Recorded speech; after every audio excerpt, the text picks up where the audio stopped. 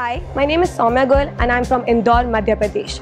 I'm pursuing my MBA from ITM Navi Mumbai in marketing. Getting a scholarship for ITM PGDM program is a big achievement for me and it has helped me to showcase my abilities to my family.